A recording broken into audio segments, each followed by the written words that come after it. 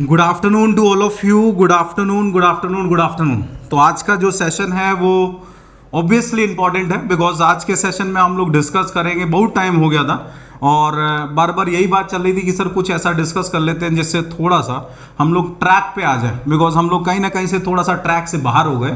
तो जस्ट हम लोग जो बात करने जा रहे हैं वो इसीलिए कि आज हम लोग जस्ट ट्रैक पे आने की कोशिश करेंगे कि सर हम कहाँ से कहाँ पहुँच गए और हमारा जो एम था वो क्या था और किस बारे में बात करनी है। तो आज हम लोग जो बात करेंगे वो इसी पे करेंगे कि हमारा एम क्या है।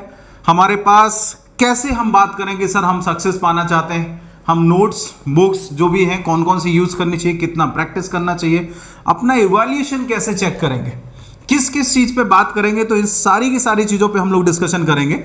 आई होप कि सारे के सारे अच्छे होंगे सब के सब सेफ़ होंगे सब के सब अपने घर में होंगे सब के सब अपनी पढ़ाई कर रहे होंगे। तो चलिए फिर अपना जो सेशन है वो स्टार्ट कर देते हैं। और बाकी लोग एक बार अगर चाहें तो और लोगों को इन्फॉर्म कर दें because the session will be important to all of you ऐसा नहीं है कि नहीं मतलब चार लोग हैं तो चार ही लोग के ज़रूर लिए ज़रूरी रहेगा। सेशन सबके लिए ज़रूरी रहेगा बिकॉज़ कभी कभी हमें ज़रूरत होती है कि कोई हमें पुश करे कि सर क्या करना चाहिए। तो आज वो पुश वाला काम करेंगे। थोड़ा सा बताऊँगा थोड़ा सा बताऊँगा कि क्या करना है, कैसे करना है ना? थोड़ा सा बताऊँगा कि मैंने कैसे किया था, है ना? सबसे ज़्यादा ज़रूरी ये है कि हाँ मतलब बच्चों को लगता है ना कि हाँ सर ने क्या किया हो तो चलो, आज मैं ये भी बताऊँगा कि मैंने क्या किया था, कैसे किया था मैंने, है ना? क्या वाकई में मतलब सबकी लाइफ इतनी आसान होती है, जितना हम सोचते हैं? या ऐसा ही होता है कि नहीं, हमारी ही लाइफ में दिक्कत है, बाकी किसी लाइफ में दिक्कत नहीं होती। तो चलो, आज इस पर भी डिस्कस करेंगे। ठीक है? चलिए चलिए चलिए चलिए।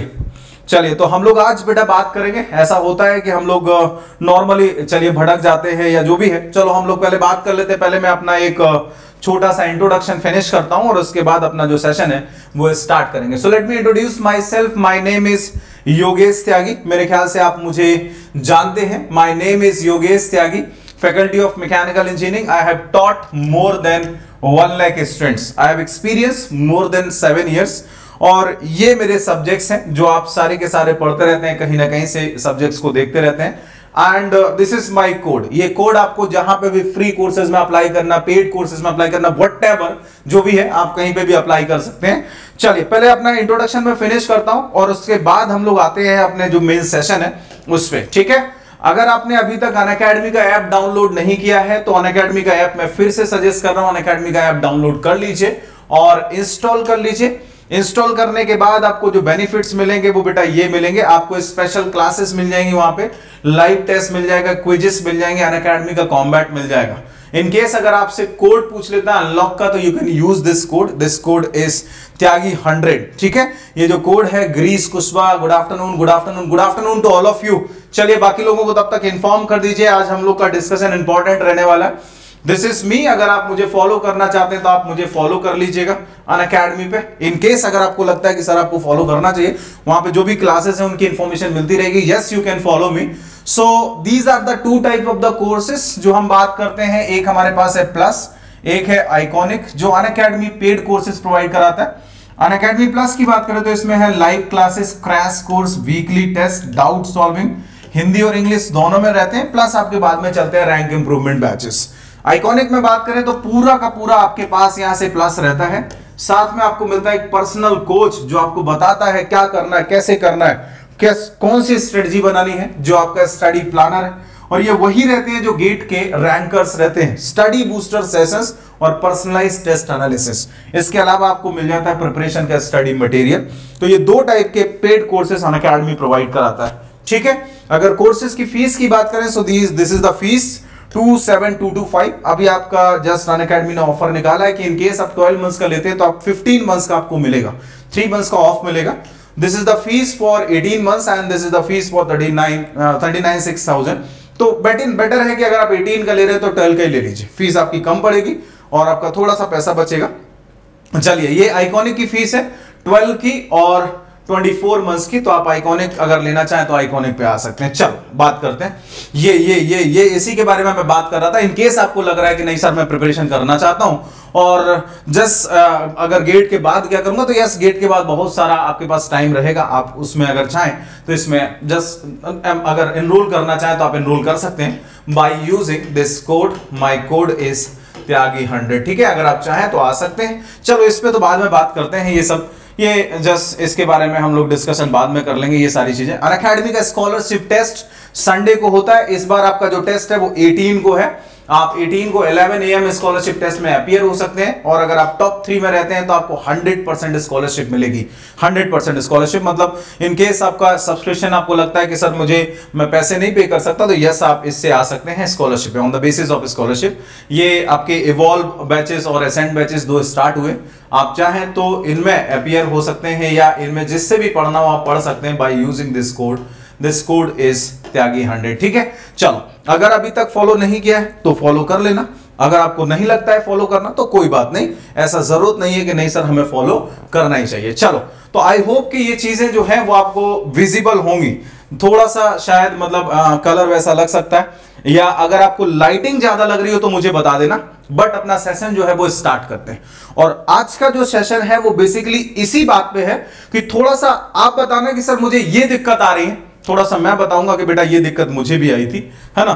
थोड़ा सा आप बताना कि सर मुझे ये वाली बुक पढ़नी है, ये वाली बुक कैसी रहेगी? मैं बताऊँगा कि नहीं, ये वाली बुक नहीं, ऐसे भी पढ़ सकते हो, ये वाला काम है, ठीक है?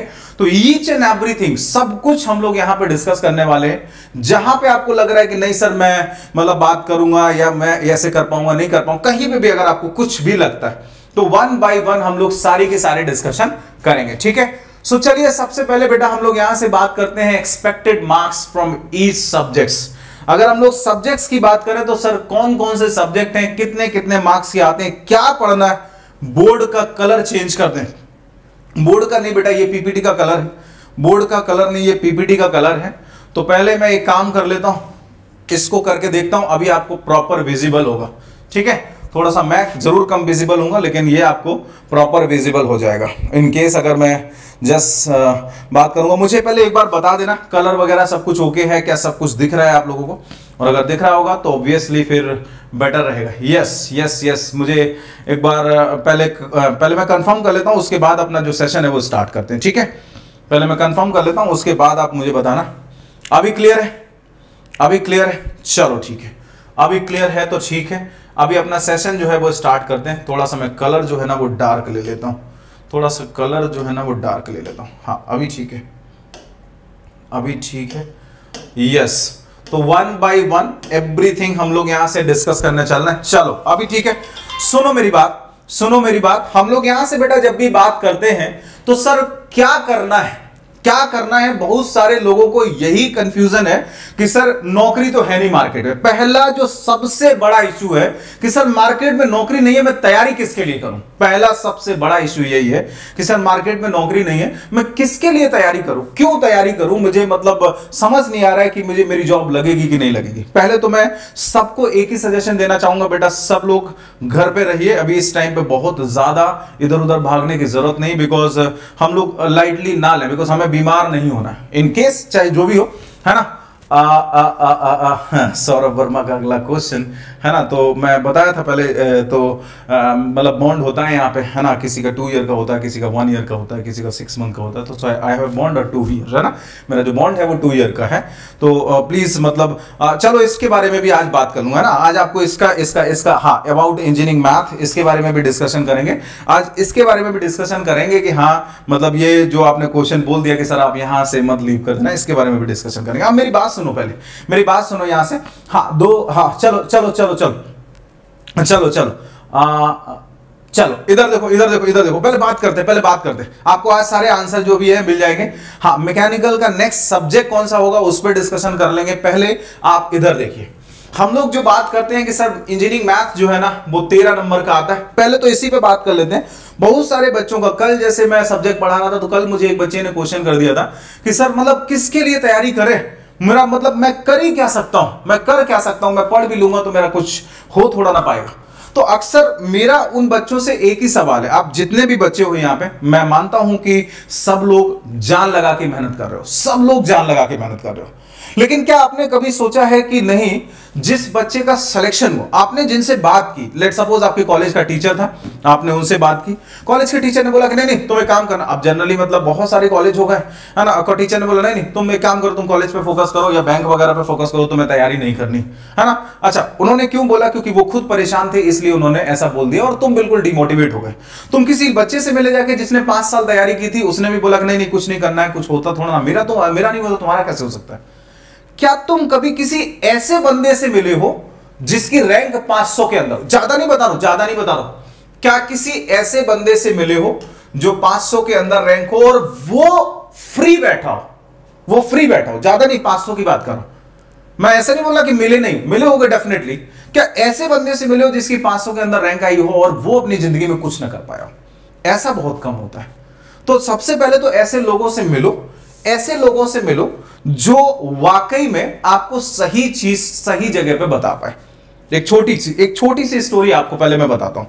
एक छोटी सी स्टोरी बताता हूँ। एक बार आ, महात्मा बुद्ध महात्मा बुद्ध होते हैं तो उनका शिष्य होते हैं आनंद है ना? महात्मा बुद्ध की जब काफ़ी एज हो जाती है तो उनका उपदेश देना जो उपदेश देते थे वो उपदेश उन्होंने देना कभी नहीं छोड़ा है ना? भगवान बुद्ध जिनको बोलते हैं तो वो भगवान बुद्ध एक बार क्या था कि कहीं जा रहे थे, किसी गाँव में जा रहे थे। अच्छा जब जा रहे थे, जा रहे थे हाँ ऑब्वियसली इधर इधर इधर देखो इधर देखो। महात्मा बुद्ध एक बार एक गाँव में जा रहे थे। अच्छा जाते जाते जाते जाते जाते जाते, बुद्ध गाँव काफ़ी दूर लग रहा था और उनका जो शिष्य था आनंद, वो भी काफ़ी थका जा रहा था। महात्मा बुद्ध भी बुढ़े हो गए थे तो काफ़ी ज़्यादा थक रहे थे। तो उनके शिष्य ने ये बोला कि प्रभु, एक काम कर लेते हैं, हम लोग यहीं पे आराम कर लेते हैं, इस गाँव पे हम लोग कल चलेंगे। आज ही क्यों जाना है? तो उन्होंने बोला कि, एक काम करो, बहुत छोटा सा रास्ता है, इसको कवर कर लेते हैं। फिर हम उसी गाँव पे जाएँगे और वहीं पे रुकेंगे, जाके आपने सुना होगा कहीं ना कहीं। चलो, फिर मैं फिर से बताता हूँ। तो उन्होंने बोला कि, चलो, वहीं गाँव पे रुकेंगे चल के, चलते चलते चलते चलते। तो जब काफ़ी देर हो गए मतलब एक घंटा हो गया, दो घंटा हो गया, चलते चलते चलते चलते तो उनको रास्ते में एक बंदा मिला, एक किसान मिला जो गेहूँ काट रहा था। उन्होंने बोला कि प्रभु, धूप बहुत है। इस किसान से पूछ लेते हैं कि, कितना दूर बचा हमारे अंदर क्यूरियसिटी होती है ना कि हम कहीं पे जा रहे हैं तो वो कितना दूर बचा है? तो उन्होंने उससे पूछा कि, ये बताइए, ये जो गाँव है, वो कितनी दूर है? उसने बोला, बस बस बस, पहुँच गए। थोड़ी सी दूर है। तुम चले जाओ, बस अभी पहुँचने वाले अच्छा जब उस किसान ने ये बात बोली तो महात्मा बुद्ध ने उसकी तरफ़ देखा और मुस्कुरा दिए। वो भी मुस्कुरा दिया और आगे चल दिए। अच्छा जो आनंद थे तो आनंद को बड़ा अजीब सा लगा कि ये क्यों भगवान क्यों मुस्कुरा रहे हैं? वो भी मुस्कुरा रहे, वो भी मुस्कुरा रहे, हमको कुछ पता ही नहीं चल रहा। चलते गए चलते गए चलते गए। दो चार किलोमीटर और निकल गए, तब मतलब उनसे फिर से नहीं रहा गया कि प्रभु बहुत थक गए, मुझसे बिल्कुल नहीं चला जा रहा, बिल्कुल नहीं चला जा रहा तो कैसे चले? अब आप ये बताओ, उन्होंने बोला, चलो, थोड़ी सी दूर और बचा जब थोड़ी सी दूर और गए कि एक बूढ़ी अम्मा मिली, वो लकड़ी लेके जा रही थी। जब वो लकड़ी लेके जा रही थी तो उन्होंने बोला, इनसे पूछ लेते हैं। उन्होंने बताया कि, बेटा, बस दो किलोमीटर और है, दो किलोमीटर के अंदर अंदर तुम पहुँच जाओगे। अच्छा जब वहाँ पे पहुँचे तो जब उनसे उन्होंने ये बात बोली तो भगवान बुद्ध फिर से हंस दिए। बूढ़ी अम्मा भी हंस दी और आगे चलना शुरू हो गए। तो आनंद ने बोल दिया कि, प्रभु, ये तो रखा आपका सामान। ये मैं यहाँ पे बैठा हूँ और आप भी यहीं पे आराम कीजिए। अब मुझसे नहीं चला जाएगा। लगभग हम लोग छह सात किलोमीटर निकल आए और जिससे भी पूछते हैं, वो एक ही बात बोलता है कि बस दो किलोमीटर और चले जाओ। बस दो किलोमीटर और चले जाओ। तो ऐसे कब तक दो किलोमीटर चलते जाएँगे?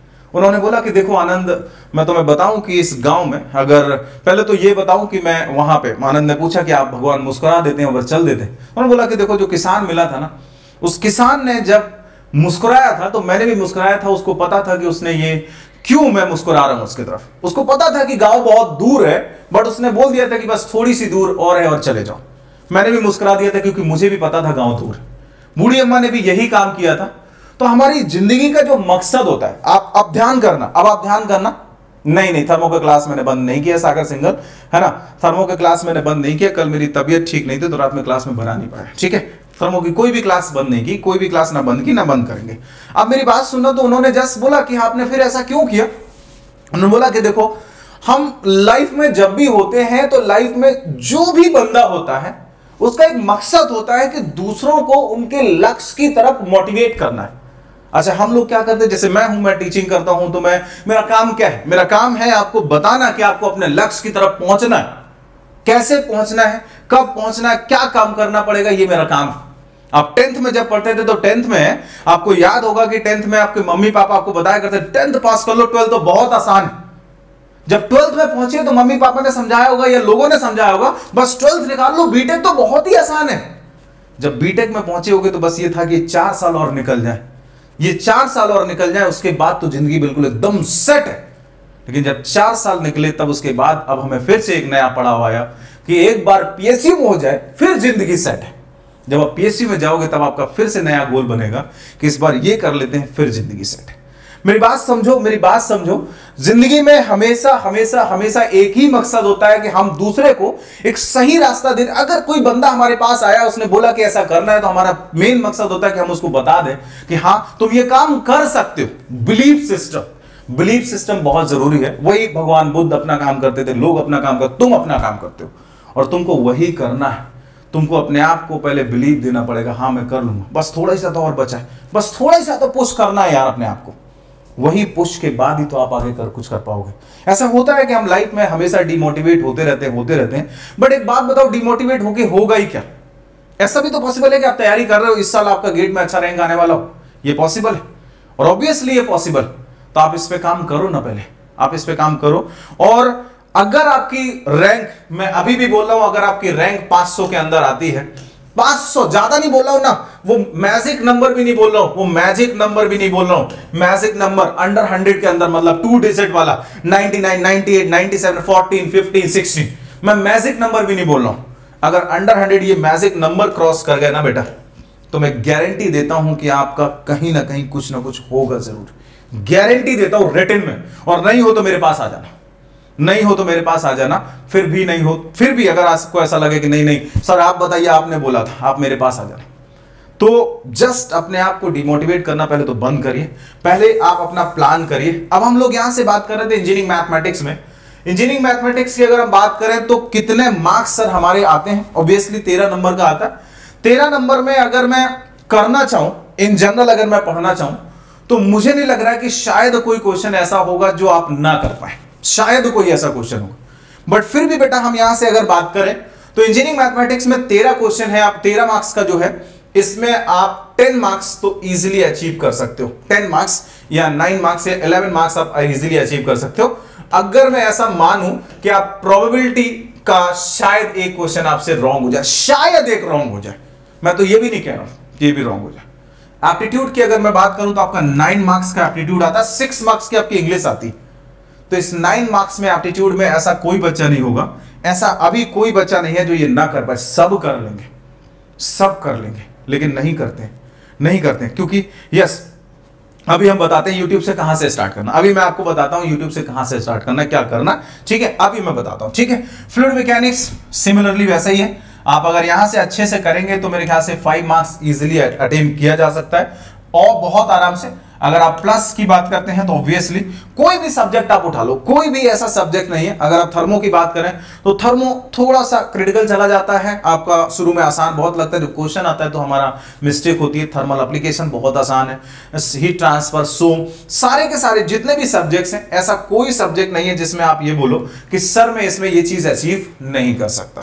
ये आपके पास हाँ एक ऐसा सब्जेक्ट है इंग्लिश जिसमें अगर मैं बात करूँ कि अगर आप थोड़ा सा पढ़ोगे थोड़ा सा पढ़ोगे तो चार नंबर ले आओगे, नहीं पढ़ोगे तो दो नंबर ले आओगे। नहीं पढ़ोगे तो दो नंबर आप यहाँ से लेके आओगे मैकेनिकल गेट स्कोर क्वालिफाई भी मेरा दोस्त लोग ने किया रिज्यूम पे ऐड किया।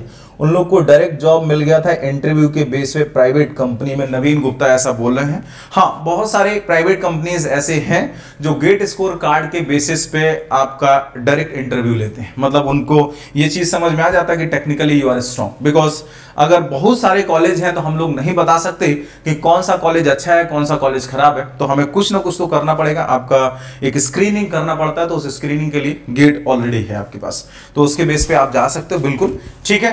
तो आपके पास जो भी मार्क्स हैं इनकेस अगर आपने यहाँ से सोच लिया है तो सबसे पहले तो अपना टारगेट बेटा, जितने भी लोग हो, एक टारगेट सेट करो। पहले तो मैं आपको दिखा दूँ, पहले तो मैं आपको दिखा दूँ।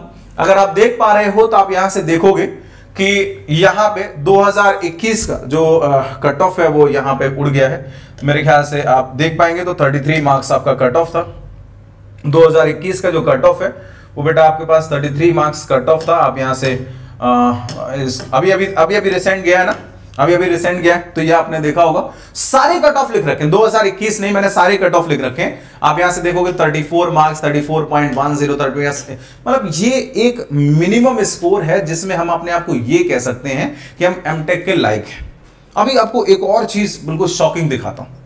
इस बार का गेट का एवरेज स्कोर जो था, अगर सारे बच्चों को मिला दें, सारे बच्चों को मिला दें, सबका एवरेज कर दे। मैकेनिकल का तो 16 नंबर था बेटा। 16 नंबर एवरेज था, इतना सब कुछ करने के बाद भी। सारे बच्चों का जो एवरेज अगर हम यहाँ से मार्क्स और एवरेज स्टूडेंट का एवरेज लेने टोटल तो टोटल जो एवरेज था वो बेटा 16 नंबर था। और इस कॉलेज का सेमेस्टर एग्ज़ाम का टाइम हो गया। इसलिए नेक्स्ट वन मंथ तक लोड हो ज़्यादा। यस कोई बात नहीं लोड सबके पास रहता है, ठीक है? ये आपका ओबीसी वाले बच्चों का है, ये एस सी वाले बच्चों का है। तो ये अभी तक का करंट सिनेरियो है कि इसका मतलब ये है ऑन एन एवरेज अगर मैं बात करूँ तो सर 34 टू 35 मार्क्स मुझे लाना पड़ेगा। तब मैं क्वालिफाई हो पाऊँगा। बस क्वालिफाई हो पाऊँगा इसके अलावा कुछ नहीं कर पाऊँगा सर यस मैं क्वालिफाई हो जाऊँगा। क्वालिफाई इन द सेंस कि अगर हम किसी भी कॉलेज में जाएँगे तो एटलीस्ट इस लाइक हो जाएँगे कि मुझे 12,400 की स्टाइपेंड मिलेगी। बस इस लाइक हो जाएँगे। इसके अलावा मैं अभी कुछ नहीं बोल रहा हूँ बस आपको इतना ही अभी ध्यान देना है। थोड़ा सा आगे बात कर लेते हैं। टॉपर्स के मार्क्स टॉपर्स के मार्क्स पे बात करते हैं ना? ये जो 2021 का टॉपर का मार्क्स है, वो 93.22 मेरे ख्याल से आप टॉपर को बहुत बार आप तो सारा का सारा ऑनलाइन है तो आपने बहुत इंटरव्यूज़ देखे होंगे। है ना?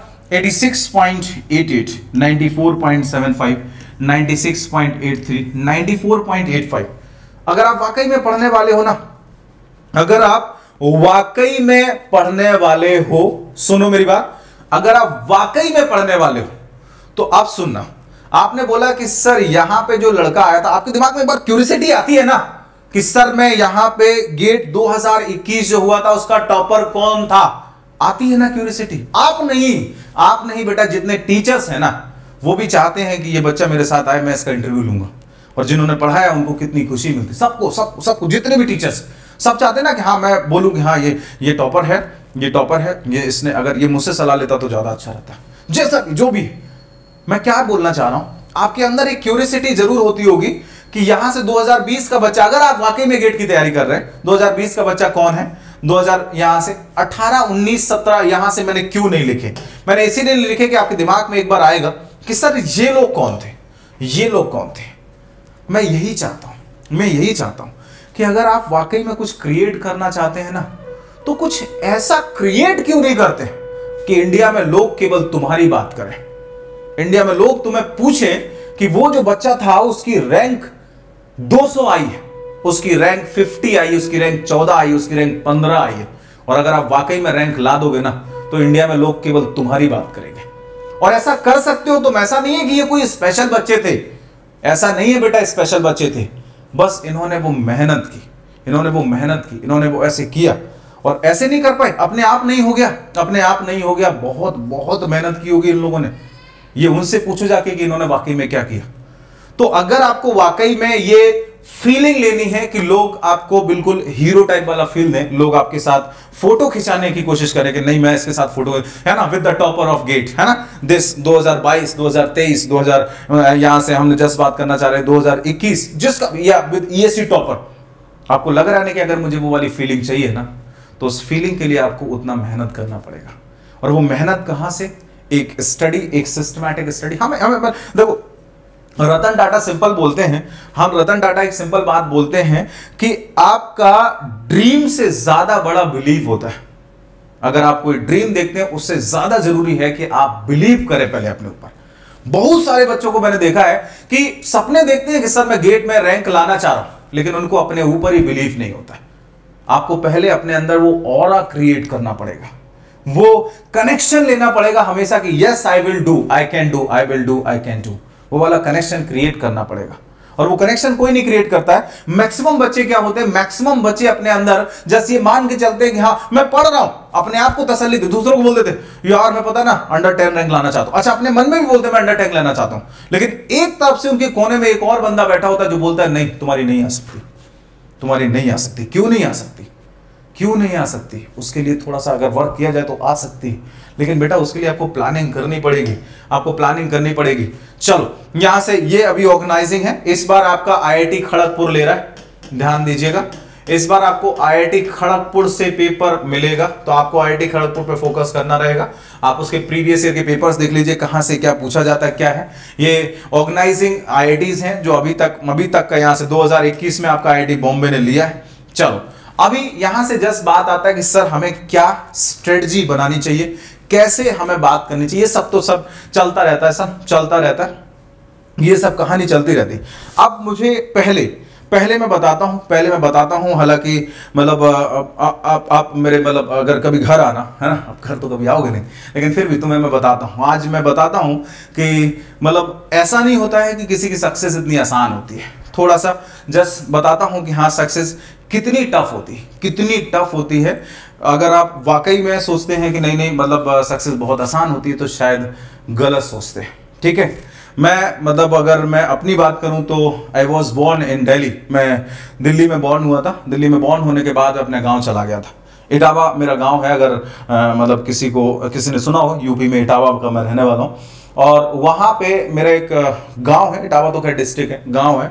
और उस गाँव से अगर मैं रोड की बात करूँ, जो मेरा पर्सनल, जो गाँव है जहाँ पे मतलब मेरे फादर मतलब मेरे दादाजी, सब लोग तो जो गाँव है, वो रोड से 20 किलोमीटर दूर है।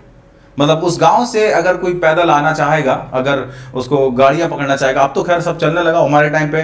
जब आप वहाँ से रोड पे आना चाहते थे तो आपको 20 किलोमीटर चलना पड़ता था। लोगों के पास, किसी के पास साइकिल हुआ करती थी, कोई पैदल आता था। 20 किलोमीटर की डिस्टेंस थी 20 किलोमीटर तो वहाँ पे कोई स्कूल नहीं था, कुछ भी नहीं था। एक प्राइमरी स्कूल था, उस प्राइमरी स्कूल में मैं पढ़ने जाया करता था।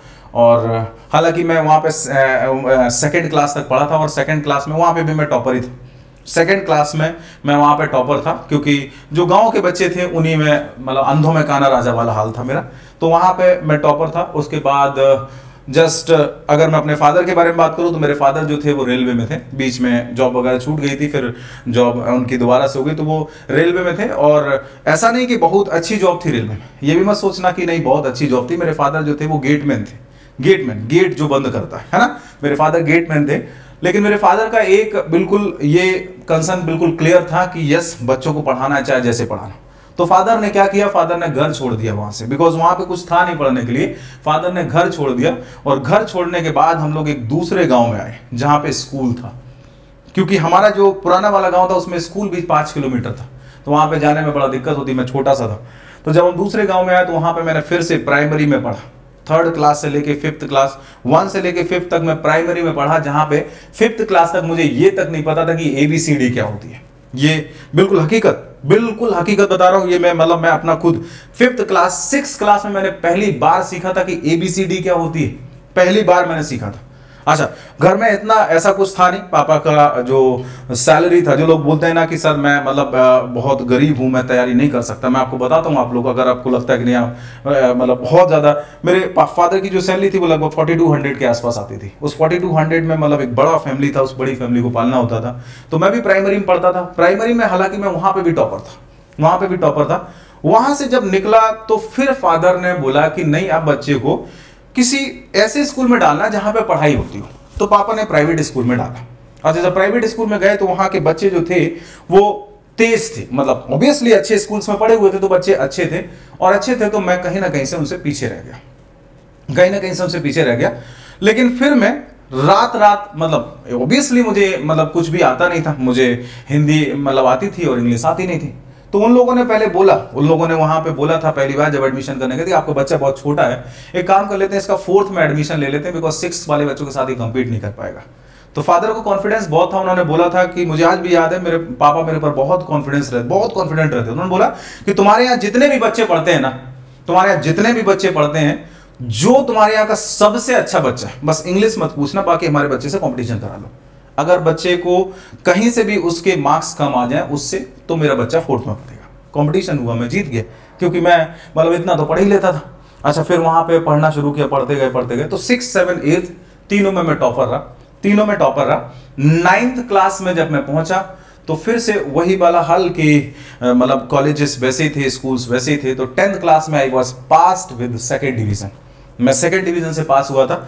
फिर इलेवन ट्वेल्थ में मैं गया कानपुर, अपने मामा के यहाँ, वहाँ पे पढ़ा जाके, है ना? वहाँ पे भी कहता है जैसे तैसे फ़र्स्ट डिवीज़न आई थी, बहुत ज़्यादा मार्क्स नहीं आए थे। आप ऐसा मत सोचना कि नहीं, सर ने कुछ बहुत मतलब बहुत स्पेशल थे। मैं बहुत नॉर्मल बच्चा था, बहुत नॉर्मल और हाँ अब मैं बताऊँ आपको ट्वेल्थ में कहानी, क्यों 60 परसेंट आए थे? बिकॉज़ ट्वेल्थ में जब मैं रहता था तो मैंने एक रूम लिया था, जहाँ पे मैं था, मेरा छोटा भाई था। रूम का किराया साढ़े चार सौ रुपए था।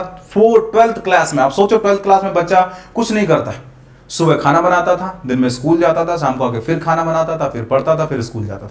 तो उतना ही टाइम मिलता था। प्रैक्टिकल था कि उतना ज़्यादा मैं पढ़ नहीं पाता था बिकॉज़ ना तो मुझे कोई कभी बोलने वाला था, ना मेरे फादर ने आज तक कभी मुझे बोला कि तुम्हें पढ़ना है, क्या करना है, कैसे कभी किसी ने नहीं बोला।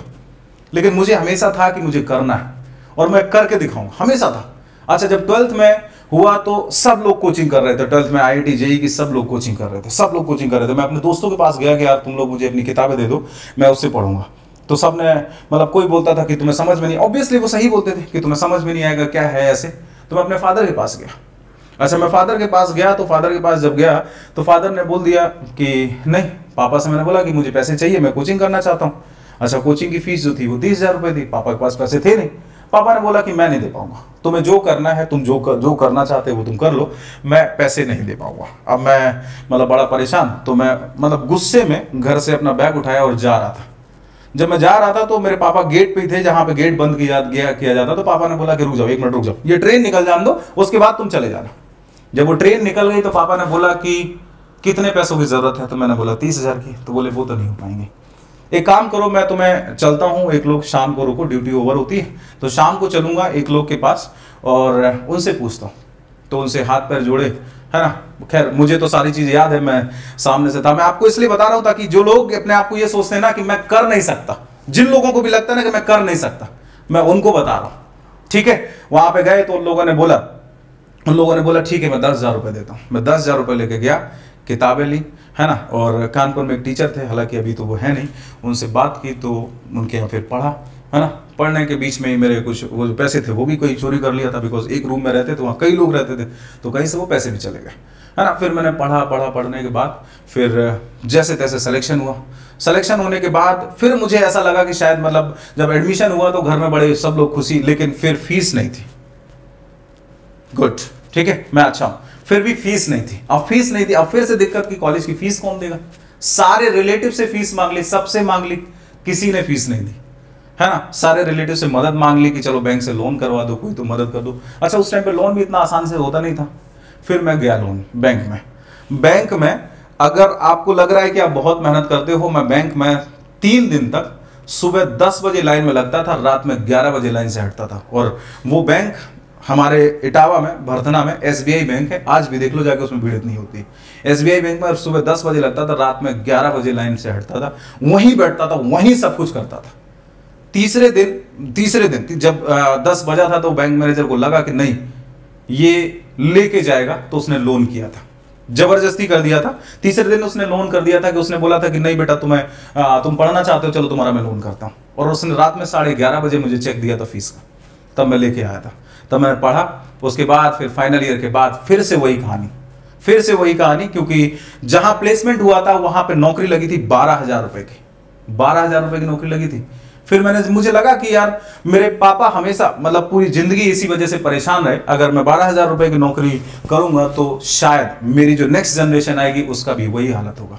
उसका भी वही हालत होगा। हाँ बैंक तो चार हाँ बैंक चार बजे तक बंद हो जाता है। यस सब लोग बिल्कुल सही बात बोल रहे कभी बैंक में दोबारा जाना चार बजे के बाद बैंक बाहर से बंद हो जाता है, अंदर उसमें काम चलता है छह, सात बजे तक। आप चले जाना, कभी देख ले जाके, ठीक है? और उस बैंक में भीड़ बहुत होती थी और वो बैंक रात में दस, ग्यारह बजे तक उसका जो काम था वो होता रहता। चार बजे आपका ट्रांजेक्शन बंद हो जाता है, बैंक नहीं बंद हो जाता, ठीक है? चार बजे आपका ट्रांजेक्शन। और रिलेटिव कभी आपके, रिलेटिव नहीं, छोड़ो, कोई भी मदद नहीं करता। जब आपकी मदद का टाइम होता ना, आपको अपनी खुद मदद करनी होती, आपको खुद। लेकिन कहीं पे भी मुझे ऐसा नहीं लगा कि मैं कर नहीं सकता।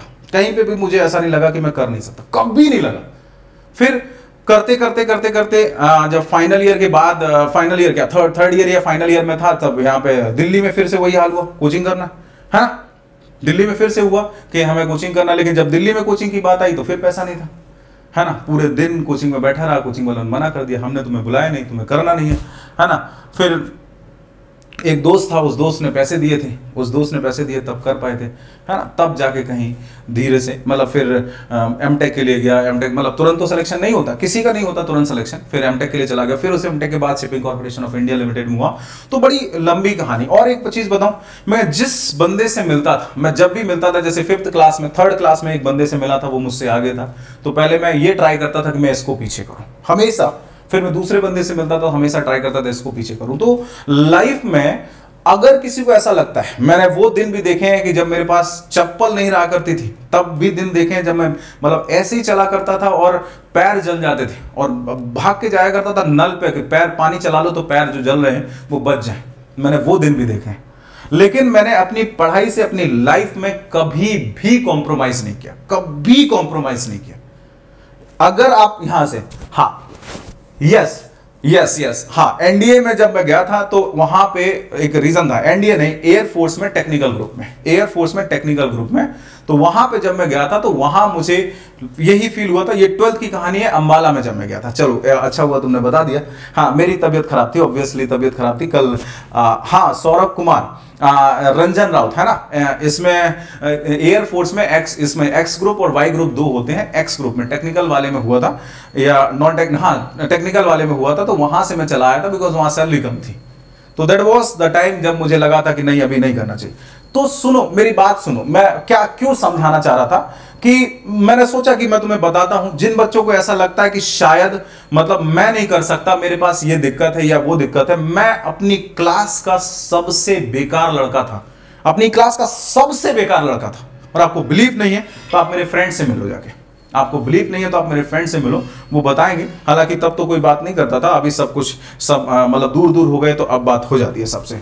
ठीक है? हाँ लेकिन आपको अगर करना है, आपको अगर करना है तो अभी नहीं, कल नहीं, परसों नहीं, कभी ना कभी होगा ज़रूर। आपको उस लेवल की मेहनत करनी पड़ेगी। एक दिन तो करना, एक दिन तो होगा, लेकिन उस लेवल की अगर आप मेहनत करना चाहते हैं हाँ मेरा एक सपना था कि मैं अपने घर वालों को, मैं अपने घर वालों को वो जो खुशी होती है ना, वो फेस पे जो हैप्पीनेस होती है, वो हैप्पीनेस दूँगा।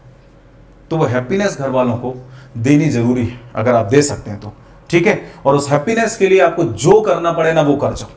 अब इसके बाद अगर किसी को लग रहा है कि, सर बेस्ट प्रिपरेशन स्ट्रेटजी बता दीजिए। तो वो बेस्ट प्रिपरेशन स्ट्रेटजी आप खुद हो, बच्चे। वो आप खुद हो। आपको खुद करना पड़ेगा। अगर आप खुद नहीं कर सकते ना तो मैं दस स्ट्रेटजी लेके आऊँगा। दस की दस स्ट्रेटजी में आप कुछ नहीं कर पाओगे। मैं गारंटी देता हूँ आप नहीं कर पाओगे। लेकिन अगर आप अगर आप यहाँ से कुछ अच्छा करना चाह रहे हैं तो आप अपने आप को खुद पहचानो कि आप क्या कर सकते हो, कितना पढ़ना चाह रहे हो, कितना पढ़ना चाह रहे हो, कैसे पढ़ सकते हो। लेकिन उसके लिए आपको टाइम देना पड़ेगा। हम अक्सर ऐसा होता है अक्सर हमारे साथ ऐसा होता है कि जब हम 10 दिन पढ़ते हैं तो 10 दिन के बाद हमारी जो लाइफ ऐसा ऐसा लगना बहुत ज़्यादा पढ़ लिया है। अब नहीं पढ़ना चाहिए, है ना? लेकिन आपको रुकना तब तक नहीं है ना, जब तक आपके घर वालों के फेस पे वो मुस्कुराहट ना आ जाए। कि हाँ बेटा तुमने कर दिया। Yes you have done it उसके बाद तुम्हें जो करना वो तुम करो। उसके बाद तुम्हें जो करना वो तुम करते रहो करते रहो करते रहो। लेकिन अगर आपने यहाँ से यस यस जिद थी ये ठीक है बाकी लोग बाकी लोग जित, जितने भी लोग हैं तो मुझे सबसे पहले तो मुझे तो सबसे पहले जितने भी लोग हैं अगर आपके अंदर वाकई में जिद है वाकई में जिद है कि सर मैं करके दिखाऊँगा और मैं रैंक लाऊँगा अगर मैं रैंक लाऊँगा तो पहले तो मुझे वो चाहिए कि हाँ sir I will do it I can do it I will do it I can do it तो सबसे पहले तो मुझे आपके अंदर से चाहिए। आपके अंदर से वो आग चाहिए। आपके अंदर से वो आग चाहिए तो पहले तो मुझे जितने भी लोग हैं, जितने भी लोग हैं, पहले तो मुझे ये बताएँ कि yes they can do it पहले मुझे रिटर्न में और ये पागलपन है, ये पागलपन है कि हाँ सर, मैं कर सकता हूँ। मैं कर सकता हूँ और मैं करूँगा। मैं कर सकता हूँ, मैं करूँगा। ठीक है? मुझे चाहिए। यस कितने लोग हैं मेरे साथ जो करना चाहते हैं? कितने लोग हैं जो करना चाहते हैं? मैं कुछ नहीं हूँ, मैं कुछ मैं एक बस मीडियम हूँ, मैं आपको बता सकता हूँ कि आपको यह करना है। लेकिन करना तो बेटा आपको है। करना आपको है। ठीक है? करना आपको है। तो जितने भी लोग हैं मतलब ऐसा कुछ भी नहीं, ऐसा कुछ भी नहीं कि कुछ भी इंपॉसिबल है। लेकिन पहले आप 500 के अंदर रैंक तो लाओ यार। तुम लोग तो सिंपल बोल देते हो, सर नौकरी नहीं है मार्केट में। अरे, नौकरी नहीं है। तुम कितने बार 500 के अंदर रैंक लाए हो, तुम्हारी नौकरी नहीं मिली? ये तो गलत है ना। ये तो गलत है ना। आपको करना पड़ेगा बेटा। आपको करना पड़ेगा।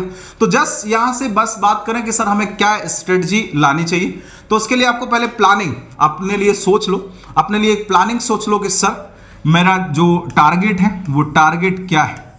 सर टारगेट मेरा है गेट 2022 ईएससी 2022 ईएससी या मैं यहाँ से बात करना चाह रहा हूँ गेट की, ये मेरा टारगेट है, ठीक है? आप अपनी रैंक सोच लो कि सर मैं इस रैंक पे बात करना चाहता हूँ। मैं अपनी रैंक पे बात करना चाह रहा हूँ, मेरी कितनी रैंक मुझे चाहिए, है ना? और बहुत से लोग बोलेंगे, बहुत से लोग हंसेंगे इस बात पे कि सर क्या कर रहे हो, है ना? अबे पागल बना रहा। हाँ ठीक है, मैं बना रहा हूँ पागल। मैं बना रहा हूँ पागल। लेकिन मुझे वो पागलपन चाहिए आपके अंदर भी कि यस मैं करना चाहता हूँ। अगर हम यहाँ से रैंक की बात करें तो सर हमें रैंक चाहिए। अपनी रैंक सोच लो, जो आपको लग रहा है कि इतनी रैंक पे मुझे काम करना मार्क्स सोच लो। मार्क्स सोच लो कि सर मुझे इतने मार्क्स लाने हैं। अगर आप मैकेनिकल से हैं तो आप पहले टारगेट रखिएगा कि 85 प्लस मार्क्स लाने और 85 प्लस मार्क्स आपको लाने हैं मतलब लाने लाने हैं मतलब लाने किसी भी हालत में लाने चाहे जो भी हो जाए, चाहे जो भी हो जाए। ठीक है? इसके बाद इसके बाद की कहानी है जब मेरा shipping corporation of India limited में हुआ था। तो जब मेरा shipping corporation of India limited में हुआ था तो वहाँ पे भी ऐसा नहीं है कि नहीं मतलब पैसा किसको प्यारा नहीं होता यार? सबको प्यारा होता है पैसा। सबको अच्छा लगता है है ना? और जब आ, हुआ वहाँ पे तो घर वाले एकदम से खुश थे सब लोग हैप्पी थे सब लोग हैप्पी थे है ना? कि चलो हो गया लड़के का है ना? और आ, मैंने पढ़ाई की वजह से मेरे घर में मेरे छोटे भाई की शादी पहले हुई थी मेरी बाद में हुई थी है ना? क्योंकि मतलब ऐसा हुआ था मैंने बोल दिया था मुझे तो कुछ मैं जब तक कुछ कर नहीं लूँगा तब तक कुछ करूँगा ही नहीं है ना? जब वहाँ पर हुआ तो फिर मुझे यही चीज़ लगी फिर मुझे यही चीज़ लगी। बहुत से लोग ऐसा बोलते हैं सर क्या मतलब आप मतलब आपने क्या बेवकूफ़ी की? यस की मैंने बेवकूफ़ी? आई वॉज़ इन मतलब मुंबई और मुंबई में shipping corporation of India limited वहाँ से लीव करके डायरेक्टली मैं पुणे गया था। और बस मेरे दिमाग में ये था कि अगर मैं जॉब करूँगा तो केवल मैं अपने लिए कर पाऊँगा। लाइफ में आपकी परेशानियाँ पीछा नहीं छोड़ती हैं, परेशानियाँ कभी पीछा नहीं छोड़ती मैं जस्ट यही रहता है कि नहीं, अगर मैं जॉब करूँगा, मुझे ऐसा लगा कि अगर मैं जॉब करूँगा तो मैं केवल अपने लिए कर पाऊँगा। मैं गया वहाँ पे एक इंस्टीट्यूट था। इंस्टीट्यूट था, हालाँकि मनी मिलता था उसमें कोई दो राय नहीं। इंस्टीट्यूट ने मनी ऑफ़र किया था और मैं पढ़ाना शुरू किया। हैप्पी अच्छा लगता। वहाँ पे गए तो वहाँ पे पढ़ाना शुरू किया। अच्छा लगा कि और सारे बच्चे, बहुत सारे बच्चे, और कोई ऐसा सिंगल बच्चा हो, कोई सिंगल बच्चा अगर ऐसा हो यहाँ पे जिसने, जो मुझे बोले कि नहीं सर, मैंने आपसे मदद मांगी थी, आपने मेरी मदद नहीं की। कोई बच्चा नहीं होगा। मेरे साइड से जितने जितने भी बच्चे हैं, जिन लोगों को मदद की ज़रूरत हुई होगी, जिन लोगों ने मुझसे बोला होगा, मैंने डेफिनेटली मैं जितनी कर पाऊँगा, उतनी ज़रूर करता हूँ। हमेशा करता हूँ। है ना? तो मैं फिर मतलब वहाँ पे पढ़ाना शुरू किया। मेरे ख्याल से वहाँ पे बहुत ज़्यादा एक साल मैं वहाँ पे रहा था उस इंस्टीट्यूट में। फिर मैंने अपना खुद का इंस्टीट्यूट स्टार्ट किया था। और वो इंस्टीट्यूट मैं चलाया बहुत सारे बच्चों को मतलब यहाँ पे ग्रेटर नोएडा में इंस्टीट्यूट चलाता रहा चलाता रहा चलाता रहा। और लॉकडाउन की वजह से वो उस टाइम पर फिर वो इंस्टीट्यूट भी रुक गया। है ना? फिर से मुसीबत आई। और उसके बाद की कहानी आपको पता है। उसके बाद की कहानी आपको पता है। उसके बाद मैं दूसरे इंस्टीट्यूट में था। और वहाँ पे मतलब ऐसा नहीं कि कोई किसी, कोई बुरा होता है, कोई अच्छा होता है, हमारी नहीं बनी और आई हैव टू मैं वहाँ से लीव किया और अभी मैं आपके सामने। तो लाइफ में परेशानियाँ परेशानियाँ हमेशा आती आती रहती आती रहती आती रहती। लेकिन कब हम उन परेशानियों से ऊपर निकल के आए? कब हमें काम करना है? उन परेशानियों से कैसे लड़ना है? ये बहुत ज़रूरी है। आपका मेंटल जो है ना, अभी जैसे कोरोना की बात करें तो कोरोना में मैक्सिमम जो लोग हैं ना फिफ्टी टू सिक्सटी परसेंट लोग मेंटल की वजह से निपट जा रहे हैं। उनका मेंटल स्ट्रांग नहीं। अगर आप मेंटल स्ट्रांग है ना तो आप कुछ भी कर सकते हैं। कुछ भी कर सकते हैं। चलो बेटा तो यहाँ से जस बात सुनिए। ठीक है, चलो यहाँ से सुनो। मार्क्स की बेटा बात करें तो अपना टारगेट कर लो। अगर आप 85 प्लस आते हैं तो आप बिल्कुल सेफ़ जोन में, बिल्कुल सेफ़ जोन में इतना टारगेट कर लो कि सर मुझे इतना तो लाना ही लाना है। कम से कम इतना लाना है। ठीक है, आगे देखेंगे। आगे देखेंगे। 80 प्लस भी आता तब भी आप हैप्पी रहिएगा। बिल्कुल एकदम से हैप्पी रहिएगा। हाँ अभी पैकेज शिपिंग कॉरपोरेशन में जो पैकेज रहता है, वो इनिशियल सैलरी जब आप शिपिंग कॉरपोरेशन में जाते हैं तो शुरू के डेढ़ साल आपकी ट्रेनिंग चलती है। शुरू के डेढ़ साल आपकी ट्रेनिंग चलती है, उस ट्रेनिंग में कुछ पैसा आपको खुद देना पड़ता है, कुछ कंपनी देती है। उसके बाद जो पैकेज मिलता है वो initial salary in hand salary ninety seven thousand आती है। इनिशियल सैलरी जो होती है और पैकेज का उसमें कोई लिमिटेशन ही नहीं। अगर आप शिपिंग में कभी पाँच साल या दस साल काम कर गए तो आपका जो सैलरी रहता है वो तीन लाख चार लाख के आसपास जाता है। है ना? तो बहुत अच्छा है बहुत अच्छा है। आप अगर इसमें जाते हैं शिपिंग फ़ील्ड में हाँ लेकिन शिपिंग फ़ील्ड में डिपेंड करता है कि जैसे आपने आ, मेरा तो पीएसयू था है ना? अब जैसे किसी प्राइवेट में जा रहे हैं वहाँ से ट्रेनिंग कर ली उसके बाद फिर नौकरी नहीं मिलती तो दिक्कत होती है। ठीक है? तो इट डिपेंड्स कि आप मतलब क्या, क्या चूज़ करना चाह रहे हैं। तो इनिशियल सैलरी तो वही रहती है एक लाख। तब का टाइम है। अब तो शायद मतलब ज़्यादा हो गई होगी है ना? आपका पे कमीशन जो है वो चेंज हो गया। चलो यहाँ से। तो आप पहले बेटा यहाँ से प्लानिंग करो। पहले तो अपनी प्लानिंग करो। जितने भी लोग हैं कॉलेज गोइंग जितने भी बच्चे हैं जितने भी कॉलेज गोइंग बच्चे हैं वो ये ध्यान रख लें कि मैथ और एप्टी को तो आपको साथ लेके चलना ठीक है? मैथ और एप्टी को आपको साथ लेके चलना। है इनका साथ तो कभी नहीं छोड़ना, बिल्कुल नहीं छोड़ना, चाहे जो भी हो जाए, ठीक है? और अगर यहाँ से बात करें तो टेक्निकल सब्जेक्ट्स को देख लें। टेक्निकल सब्जेक्ट्स में यहाँ से आप चाहें तो दो टेक्निकल एक मैथ लेके चल सकते हैं, ठीक है? और एप्टी लेके चल सकते हैं, या वन टेक्निकल और मैथ और एप्टी लेके चल सकते हैं, ठीक है? इनकेस अगर आप कॉलेज गोइंग हैं तो कॉलेज गोइंग में आप ऐसे ही लेना, एक टेक्निकल ले लीजिएगा, एक मैथ ले लीजिएगा और एक एप्टीट्यूड ले लीजिएगा। अगर आप पास आउट हैं तो आप दो टेक्निकल और मैथ और एप्टीट्यूड के साथ जे सकते हैं, ठीक है?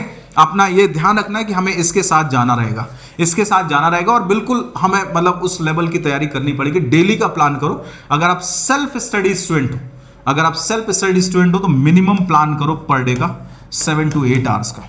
मिनिमम प्लान करो कि मुझे सात से आठ घंटे पढ़ना है। सर, सात से आठ घंटे से कम में काम चलेगा नहीं मेरा, है ना? इससे कम में काम चलेगा नहीं। और अगर आप मतलब अफोर्ड कर सकते हो तो प्लस वाले पे चले जाना, है ना? बिकॉज़ हमें लाइफ एक बार मिलती है और तैयारी भी हमारी एक ही बार होती है। हालाँकि मतलब हो, होना, ना होना लेकिन एक अलग चीज़ है। बेस बनाना अलग चीज़ है। तो अगर आप कर सकते हो, जैसे जो आपको लग रहा है, आप सेल्फ कर सकते हो तो सेल्फ से जाओ। सेल्फ में अगर कंटेंट की बात करो कंटेंट की अगर मैं बात करूँ सेल्फ के लिए मैथ एप्सी कहाँ से करें, वो मैं बता देता हूँ। सेल्फ के लिए अगर मैं कंटेंट की बात करूँ तो कंटेंट में आ, मतलब 65 टू 70 मार्क्स का कंटेंट आपका यूट्यूब पे पूरा अवेलेबल है। पूरा 65 टू 70 मार्क्स का अवेलेबल है। 30 मार्क्स का कंटेंट आपको खुद करना पड़ेगा ठीक है? प्लस अपने आप को सेल्फ मोटिवेशन देना पड़ेगा कि यस मैं करूँगा। और उसके लिए सेल्फ मोटिवेशन के लिए ज़रूरी है। डेली डेली तुमको लग रहा है ना कहीं पे कि नहीं नहीं सर, मैं कहीं डिमोटिवेट हो रहा हूँ तो यस बात कर लो। मेरा रिप्लाई आपके पास आएगा, हो सकता है कि दो दिन बाद आए, लेकिन रिप्लाई आएगा गारंटीड आएगा, है ना? कभी ऐसा होता है ना, बहुत सारे मैसेज आते हैं तो कभी रिप्लाई ना कर पाऊँ, लेकिन आएगा ज़रूर। ये ध्यान रखना कि रिप्लाई आएगा ज़रूर। मैथ और एप्टी के लिए मैं बता दे रहा हूँ। देखो एप्टीट्यूड के लिए तो दो सर के बारे में मैं बता देता हूँ। एक सर आपको पढ़ाते हैं, अविनाश सर। एप्टीट्यूड के लिए तो मैं आपको बता देता हूँ, एक सर पढ़ाते हैं, अविनाश सर। और एक पढ़ाते हैं सौरभ सर ठीक है? सौरभ ठाकुर सर मेरे ख्याल से सब जानते हैं बहुत हाँ, मतलब वेल नोन पर्सनैलिटी है। तो आप यहाँ से जस्ट अगर बात करोगे तो या तो अविनाश सर और सौरभ ठाकुर सर इन दो लोगों से एप्टीट्यूड पढ़ लो इससे ज़्यादा की ज़रूरत तुम्हें पड़ेगी नहीं ठीक है? यहाँ से। दो लोगों के अलावा किसी की ज़रूरत नहीं पड़ेगी, किसी की ज़रूरत नहीं पड़ेगी।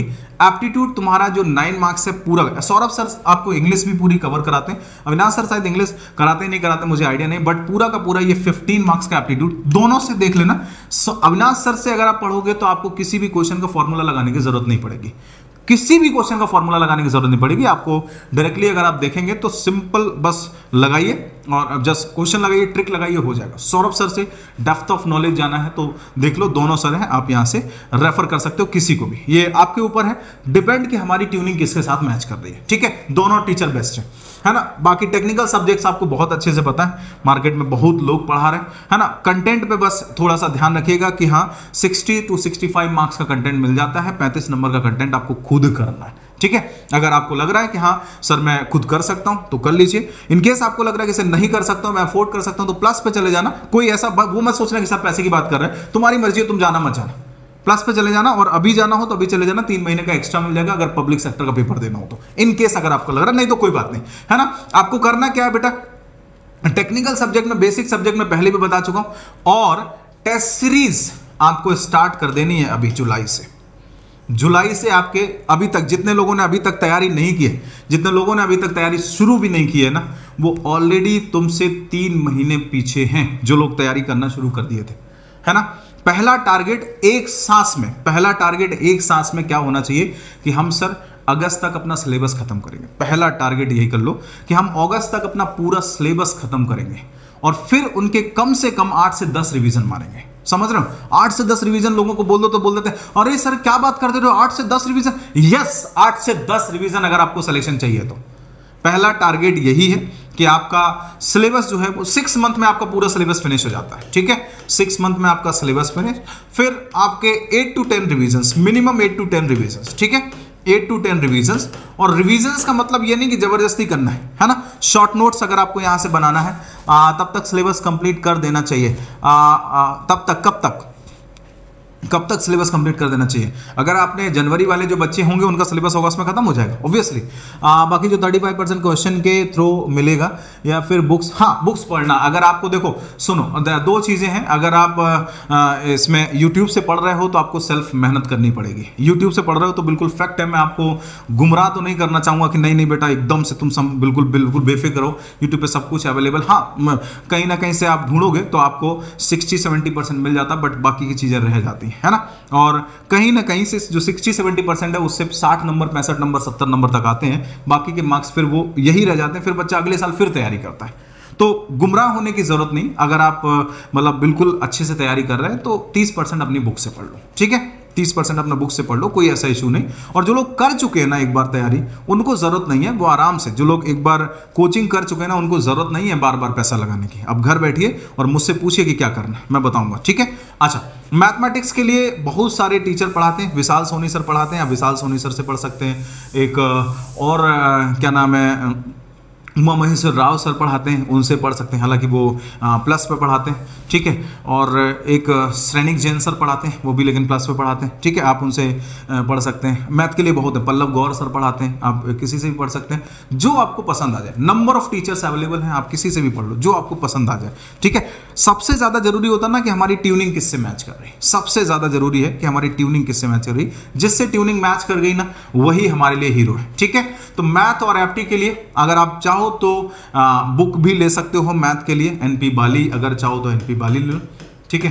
एनपी बाली की बुक मेरे ख्याल से आपके पास रहती भी है। एनपी बाली पढ़ लो इतना इनफ है बहुत ज़्यादा करने की ज़रूरत नहीं। टेक्निकल सब्जेक्ट में आप सोम से स्टार्ट कर सकते हो टीडी से स्टार्ट कर सकते हो एफएम से स्टार्ट कर सकते हो मैकेनिक्स से स्टार्ट कर सकते हो। इन चार में से कोई से भी सब्जेक्ट ले सकते हो सारे बेसिक है। ठीक है? यस जो कोचिंग कर चुके हैं, वो लोग केवल गाइडेंस लें और पढ़ें, बहुत ज़्यादा ज़रूरत नहीं है। है ना? एक बार आप कर चुके आपको सारा आइडिया है कि क्या पढ़ना है, कैसे पढ़ना है, ठीक है? सारा आइडिया है तो आप, आपको क्या करना अपने आप को फिनिशिंग देनी है, ठीक है? अपने आप को फिनिशिंग देनी है तो वो फिनिशिंग कैसे देनी है? उसके लिए अगर आपको मेरी नीड हो तो आप मुझे मैसेज कर देना, मैं आपको बताऊँगा, ठीक है? आप बिल्कुल बेफिक्र रहिए। चलो, इधर से देखो। अगर हम यहाँ से जस्ट बात करें, बेटा सेकंड टेक्निकल सब्जेक्ट आपको जो भी लेना है, इनके बाद के जो भी रिलेटेड सब्जेक्ट उनसे बात कर सकते थर्ड टेक्निकल चलते जाइए। फिर टेस्ट सीरीज़ आपको जुलाई में स्टार्ट करनी है। रिवीजन कम से कम आपको बारह दस से बारह चाहिए, है ना? दस से बारह नहीं तो आठ से दस तो ले ही लो। कम से कम इतने रिविजन आपको करना है, ठीक है? हाँ। यस सुनो सुनो सुनो, अब मैं आपको एक चीज़ बता दूँ, अब मैं आपको यहाँ से जस्ट एक चीज़ बता दूँ। जितने भी अगर हैंडबुक की बात करूँ, अगर हैंडबुक आप पढ़ना चाह रहे हो तो हैंडबुक आपको कब यूज़ करनी है? जब आपका अगस्त सितंबर चला जाएगा, जब टाइम कम बचता है, तब हैंडबुक चाहिए हैंडबुक क्या है? एक शॉर्ट नोट्स है। शॉर्ट नोट्स हमेशा अपने अच्छे होते हैं, हमेशा अपने अच्छे होते हैं। और अगर आप वाकई में मेहनत करने वाले हो ना, अगर आप वाकई में मेहनत करने वाले हो तो मैं हमेशा जस्ट ये चीज़ चाहता हूँ कि आप अपने शॉर्ट नोट्स बनाएँ, अपने शॉर्ट नोट्स बनाएँ। हम लोग क्या करते हैं ना कि वर्क नहीं करना चाहते उस लेवल पे। और जब वर्क नहीं करना चाहते तो हम लोग क्या प्लान कर लेते हैं? चलो एक हैंडबुक खरीद लेते हैं यार, है ना? हैंडबुक में सब कुछ मिलेगा अरे हैंडबुक कब? जब आप पब्लिक सेक्टर का पेपर देने जा रहे हो, आप गेट की तैयारी कर चुके हो गेट में बहुत अच्छी रैंक नहीं आई है अब पब्लिक सेक्टर का पेपर है तो एक दिन पहले हैंडबुक उठा के देख ली। दैट इज़ ओके हैंडबुक अच्छी है। लेकिन जो करना है, जो ज़रूरी है, वो क्या? कि पहले अपने शॉर्ट नोट्स खुद बनाइए। पहले अपने, है ना? शॉर्ट नोट्स जो है वो खुद बनाइए और वो जो शॉर्ट नोट्स होंगे ना, उससे अच्छी हैंडबुक कोई नहीं होगी, कोई सी भी नहीं होगी। उसको स्पायरल करा लो बेस्ट ठीक है? हाँ आठ से दस रिवीजन में कितना टाइम लगेगा? ये कोई बात होती है। ये कोई बात होती है। पहला रिवीजन अगर आप एक सब्जेक्ट का करोगे, पहला रिवीजन करोगे तो एक सब्जेक्ट में कम से कम दस घंटा लगेगा। दूसरा रिवीजन जब उसी सब्जेक्ट का करोगे तो वो टाइम हो जाएगा पाँच घंटा। तीसरा रिवीजन जब करोगे तो वही टाइम आपका हो जाएगा दो घंटा। और चौथे रिवीजन पर वो टाइम हार्डली आधे घंटे चालीस मिनट में हो जाएगा। पांचवा रिवीजन जब करोगे तो तुम ऐसे बोलोगे, सर, रट गया सब कुछ। सब रट गया, ऐसे होता है रिवीजन ठीक है? हाँ दोनों जगह कवर हो जाएगा। हाँ सर ऐसा भी कर सकते हैं, जैसे कॉलेज में जो सब्जेक्ट चल रहे हैं, वही यस यस यस यस जो कॉलेज में सब्जेक्ट चल रहे हैं ना, वो सब्जेक्ट डीपली तैयार करने वही सब्जेक्ट डीपली तैयार करने हैं। ऐसा जो सेकेंड ईयर वाले बच्चे हैं, उनको कुछ एक्स्ट्रा लोड नहीं लेना है। ना? जो कॉलेज में चल रहे हैं, उनको तो अच्छा से करना ही कर हमें तो पूरा ही करना है ना। तो हम चाहे जैसे करें। ठीक है? और बताएँ सर एम टेक ख़त्म हो गया है। लेकिन मैं बी के थोड़े से कॉन्सेप्ट भूल गया हूँ। कैसे प्रिपेयर करूँ? एक बार फिर से कुणाल पाटुल्ला, एक बार फिर से। नाइस है। अरविंद वर्मा हैंडबुक अच्छी है। यस यस देखो, सब कुछ अच्छा कंटेंट तो जहाँ से मिल रहा ना उठा लो ना चुपचाप। कंटेंट तो जहाँ से मिल रहा उठा लो। अब आ, और किसका कुछ? कुणाल पाटिल आप लोग आपको बैठना पड़ेगा। आपको बहुत अच्छे से तैयारी करनी पड़ेगी। बहुत बहुत डिटेल में करना पड़ेगा चीज़ों को। बहुत डिटेल में कर एक मिनट का बेटा टाइम दीजिएगा। है ना? तो हम लोग यहाँ से जस्ट अगर बात करें। हाँ ठीक है ठीक है हो गया हो गया। हमारे जो महानुभव हैं वो आ गए थे अंदर। हाँ रिवीजन के लिए क्या एक ही सब्जेक्ट को दोबारा दूसरे टीचर से? नहीं कभी नहीं कभी नहीं कभी नहीं।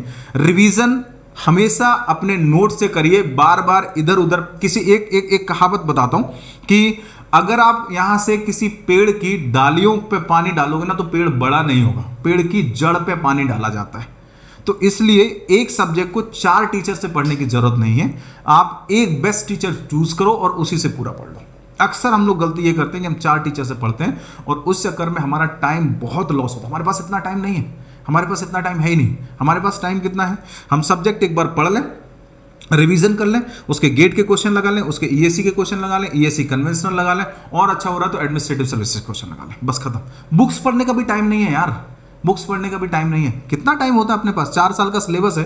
चार साल का सिलेबस है। आपको यहीं से जस्ट अगर मतलब एक साल में करना तो सोचो कितना ऑलरेडी काम है आपके पास। कुणाल पाटिल, अगर आपको कहीं पे भी कुछ भी डाउट हो तो आप मुझे मैसेज कर देना। आई मैं आपको बताऊँगा कुछ भी। हाँ what will be the strategy for the dropper yes dropper के लिए बेटा मैं एक दिन सेपरेटली स्ट्रेटजी लाने वाला हूँ। जितने भी ड्रॉपर बच्चे हैं, उनके लिए मैं एक दिन सेपरेटली लाऊँगा।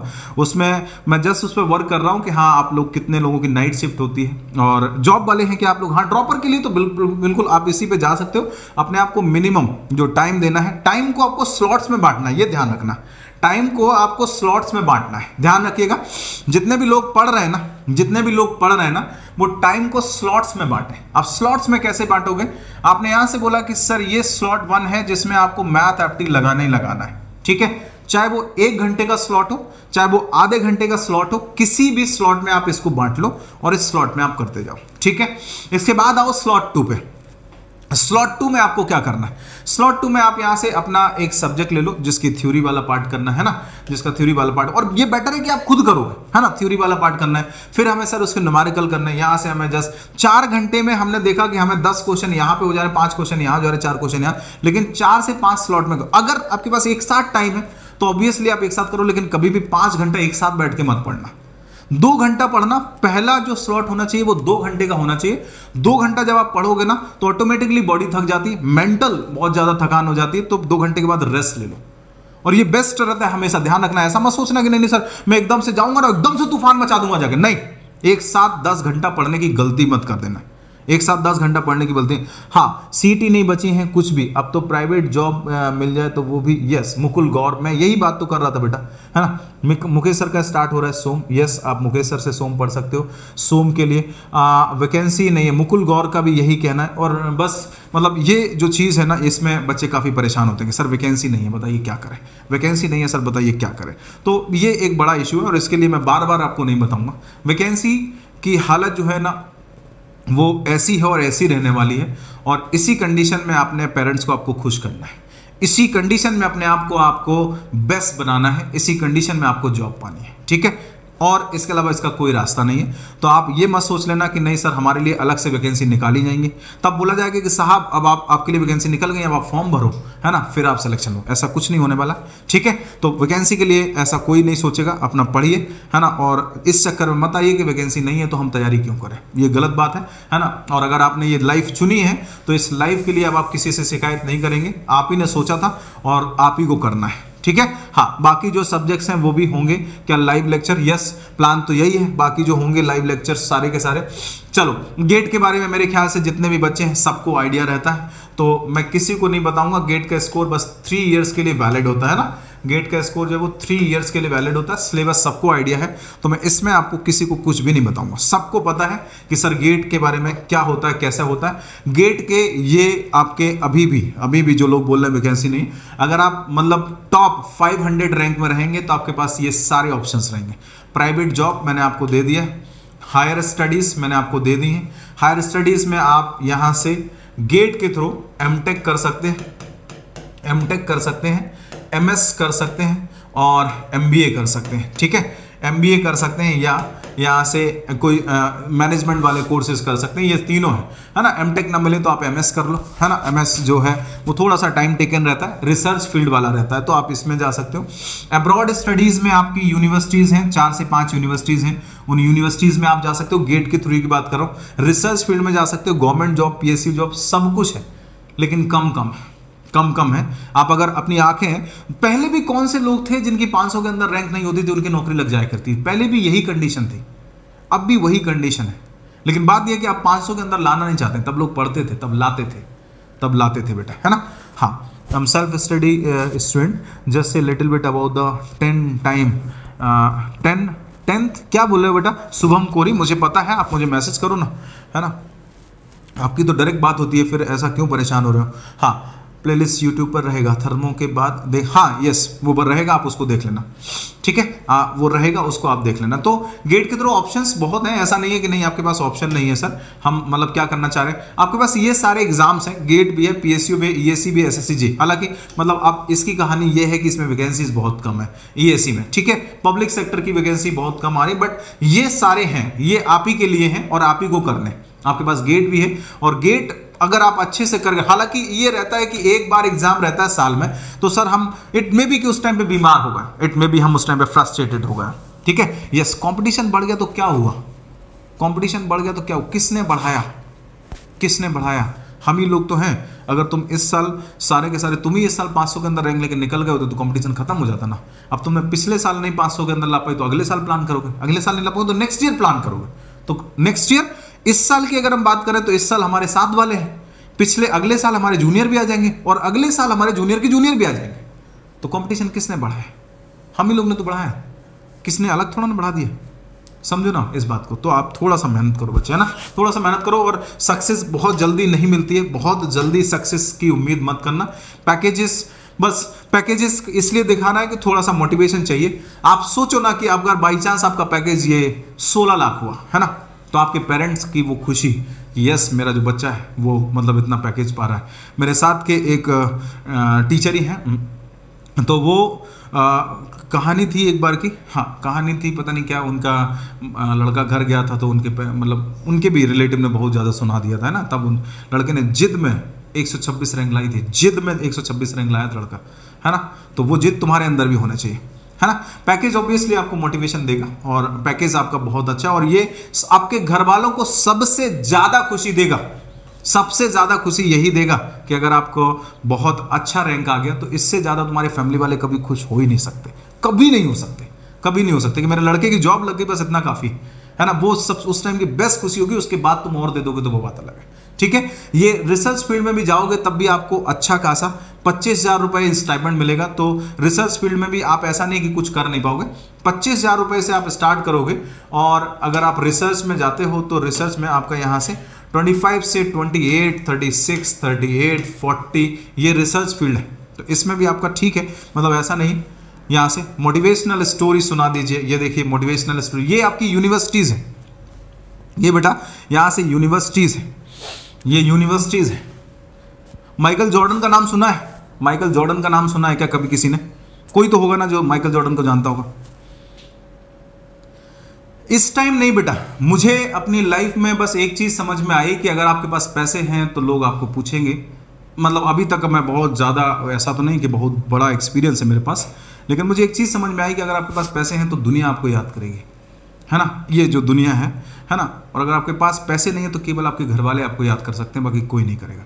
वो भी घर वालों में आपके केवल पेरेंट्स बास्केटबॉल प्लेयर्स ये तो इनकी कहानी आपको पता है ना? इनकी कहानी आपको पता है क्या? इनकी कहानी यही है कि ये एक बहुत बहुत गरीब फैमिली से थे। बहुत ही ज़्यादा गरीब फैमिली से थे।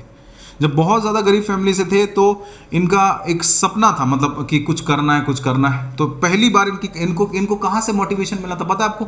इनको मोटिवेशन मिला था कि इनके फादर ने पहली बार इनको एक शर्ट दी थी। इनके फादर का एक बिज़नेस था। क्या बिज़नेस था? इनका बिज़नेस था पुराने कपड़ों को बेचने का फादर का। तो उनके फादर ने इनको एक शर्ट दिखा के पूछा कि ये शर्ट कितने की होगी? इन्होंने बोला कि ज़्यादा से ज़्यादा एक डॉलर की होगी। इनके फादर ने वो शर्ट इनको दी और बोल दी कि जाओ इस शर्ट को दो डॉलर में बेच के आओ।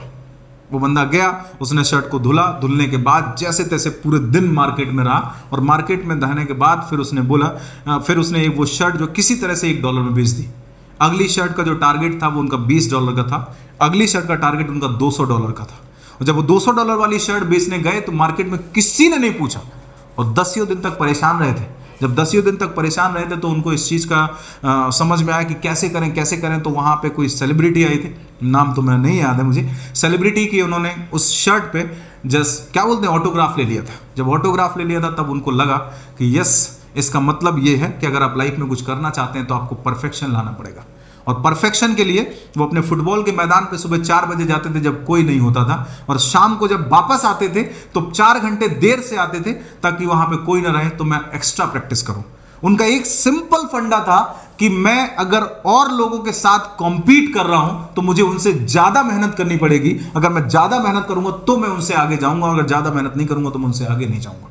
आप लोग जितने लोग यहाँ पे तैयारी कर रहे हैं, आप ये मान के चलो कि अगर एक जनरल बंदा वो बोल रहा है कि मैं आठ घंटे पढ़ता हूँ और आपको उससे आगे निकलना है ना तो आपको उससे ज़्यादा मेहनत करनी पड़ेगी। और ये करना पड़ेगा। ये करना पड़ेगा। तो ये जो माइकल जॉर्डन थे, इनकी जो मेन मोटिवेशन था इनसे इनसे अगर हम सीखे तो बस इतना ही है कि हम अगर सबके साथ तैयारी कर रहे हैं तो सब जो कर रहे हैं ना, उनसे एक्स्ट्रा मुझे एफर्ट देना पड़ेगा। तभी तो हम सबसे आगे निकलेंगे। ये काम तो सब कर रहे हैं, सर। ये काम तो सब कर। रहे अब ये मैं यहाँ पे पचास साठ बच्चे हैं, इनको मैं समझा रहा हूँ। समझाने के बाद कुछ दिन बाद दस दिन तक मोटिवेशन रहता है, उसके बाद बोलते हैं कि नहीं, छोड़ो सब, नहीं कर पाऊँगा मैं। तो ये तो सब कर रहे हैं। इनसे एक्स्ट्रा मैं क्या कर सकता हूँ? वो मुझे अलग बनाएगा इन सबसे। जैकी हाँ मदद लेने को सब तैयार देने को कोई नहीं। जैकी चौरसिया ने कट कर दिया। ठीक है, चलो कोई बात नहीं। मैं अभी अभी जस्ट हाँ सुना है। ऑब्वियसली सुना होगा तो आपने अगर सुना है तो अच्छी बात है। तो आपको अगर स्पेशल बनना है ना तो एक्स्ट्रा मेहनत करो। ये आप माइकल जॉर्डन से सीख सकते हो कि वो कितनी एक्स्ट्रा मेहनत करते वीरेंद्र सहवाग को तो जानते हो ना?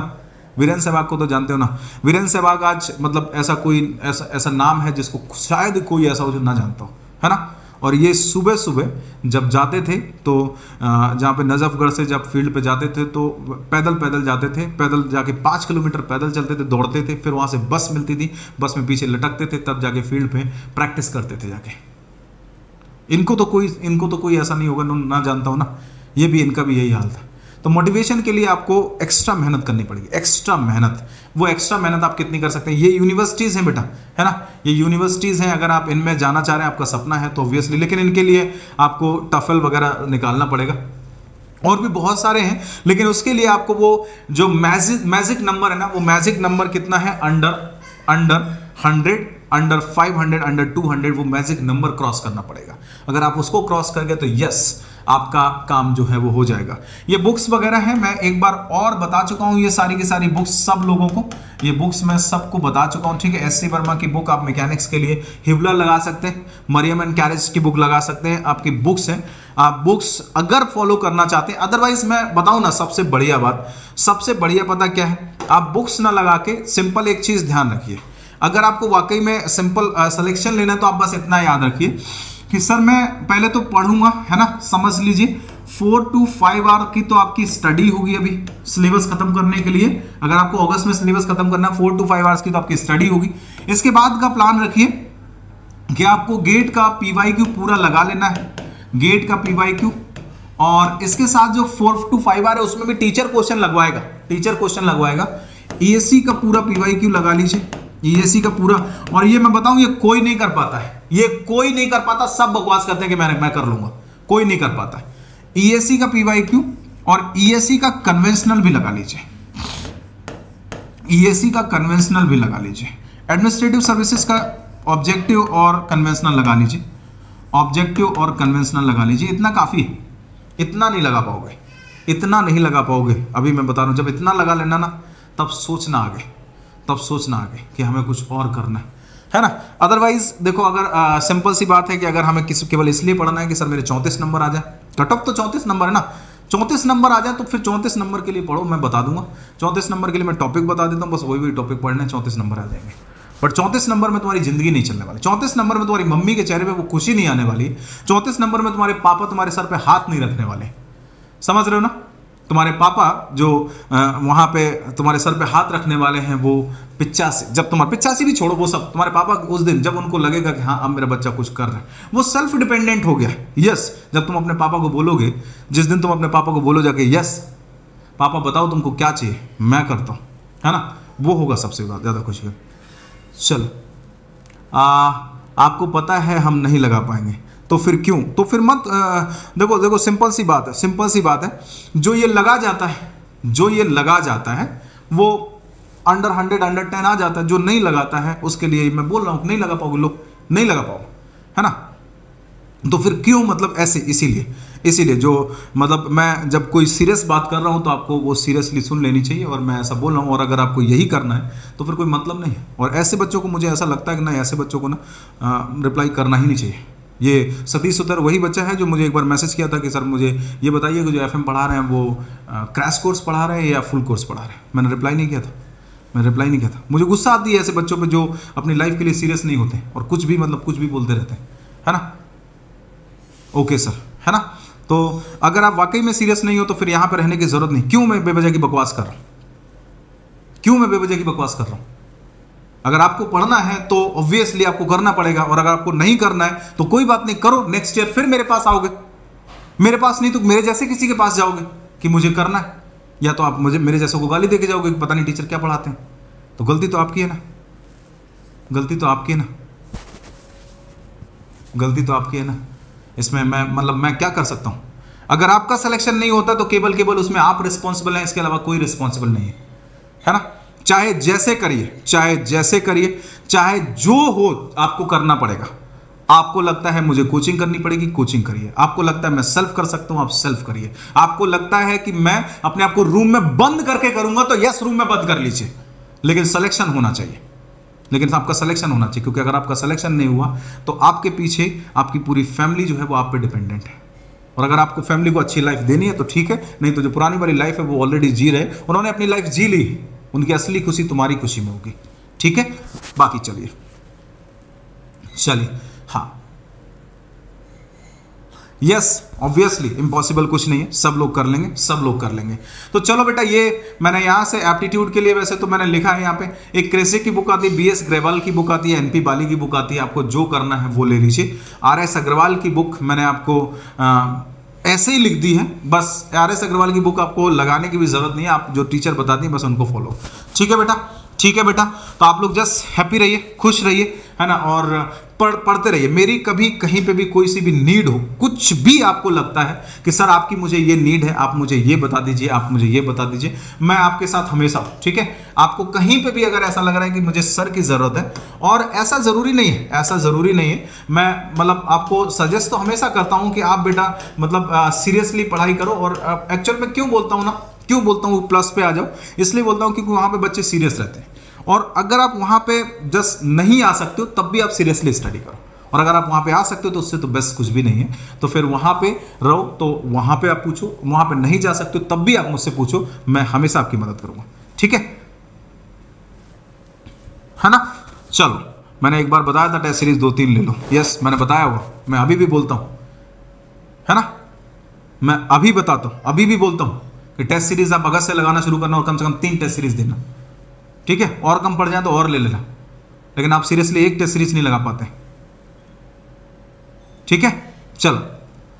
Everybody says do any private job you have to do something and I want to crack the exam बेटा, आप साहिल, आपने कब के पास आउट हैं? आपने कब के पास आउट है? ये सी, अरे, बहुत लोगों ने किया है ये सी विद कॉलेज। बहुत लोगों ने किया है, लेकिन उसके लिए आपको स्पेशल होना चाहिए। स्पेशल मतलब आपकी पूरी स्टडी जो है ना, पूरी सिस्टमैटिक होनी चाहिए। स्पेशल का मतलब ये नहीं कि बहुत तेज होना चाहिए। बहुत तेज होने की ज़रूरत नहीं है। बहुत तेज होने की ज़रूरत नहीं है। मेरा टेंथ क्लास में 57 परसेंट था। ट्वेल्थ क्लास में मेरा 65 परसेंट सिक्सटी समथिंग कुछ था। है ना? सॉरी हाँ और नहीं ट्वेल्थ में 62 था और इसमें बीटेक में 65 समथिंग था। तो ऐसा नहीं, बहुत तेज होना चाहिए। आग होनी चाहिए बस। आग होनी चाहिए, आप कर जाओगे। 2019 के पास आउट है। अक्षय कुमार, किसका टेस्ट सीरीज़ बेस्ट रहेगा? टेस्ट सीरीज़ मेरे ख्याल से आप ये जो सिलेक्शन रहेगा वो आप पे रहेगा। आपको खुद चूज़ करना रहेगा, आपको पता है।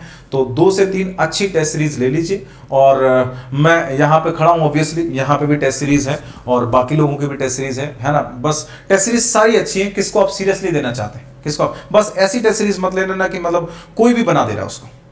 कोई भी बना दे रहा है, ऐसी टेस्ट सीरीज़ मत लेना। ठीक है? ये ध्यान रखना। बैकवर्ड एरिया हिमाचल शाहिल आप मुझे मैसेज डाल देना अन अकेडमी ऑप पे, है ना? अन अकेडमी ऐप पे मुझे आप मैसेज डाल देना, मैं रिप्लाई करता हूँ आपको, ठीक है? टाइम का मैनेजमेंट बहुत ज़रूरी है। टाइम का मैनेजमेंट बहुत ज़रूरी है। साहिल कश्यप आप मुझे मैसेज डाल देना, ठीक है? अन अकेडमी ऐप पे आप मुझे मैसेज डाल देना आई रिप्लाई यू और टाइम का मैनेजमेंट यस आप अपना बना लीजिए। अगर आपकी एट आवर्स की स्टडी है तो उस एट आवर्स को आप सीरियसली यहाँ से बना लीजिए कि आपको एट आवर्स को कैसे डिवाइड कर दो दो घंटे के चार स्लॉट निकाल दीजिए। ठीक है? दो दो घंटे के आप चार स्लॉट निकाल दीजिए, इन चार स्लॉट को डिवाइड करिए। इन चार स्लॉट को चाहे जब बांट लीजिए, इन्हीं पे आपको काम करना ठीक है? इन्हीं पे आपको काम करना और, सोम सोम बेटा, सोम, मुकेश सर का अभी शाम को चलना शुरू हुआ है, सोम कर लो, मुकेश सर पढ़ा तो रहे है ना? और मतलब मुझसे तो बहुत अच्छा पढ़ाएँगे। मुझे सोम नहीं आता, बाकी कुछ भी पूछ लो। है ना? सोम, मशीन डिज़ाइन, दो सब्जेक्ट मुझे नहीं आए समझ में। मैं अपनी लाइफ में कभी मतलब उनको बहुत अच्छे से फील ही नहीं कर पाया। पता नहीं क्यों मतलब सोम सबको अच्छा लगता है सबको पसंद है। मुझे नहीं आ पाया कभी नहीं आया है ना?